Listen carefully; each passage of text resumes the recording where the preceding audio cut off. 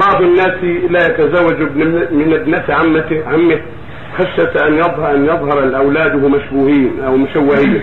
فهل هذا ينافي كمال التوحيد؟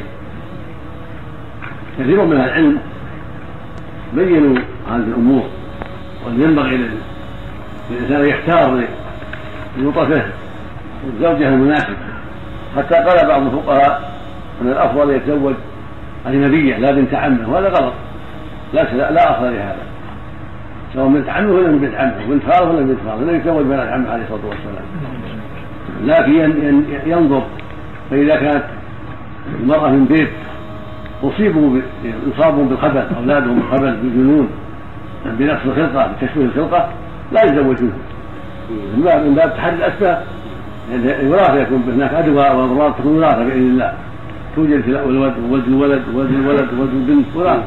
فإذا كان هذه الأسرة معروفة بأن يوجد فيهم بالوراثة أمراض شينة في في الأولاد يتجنبوا.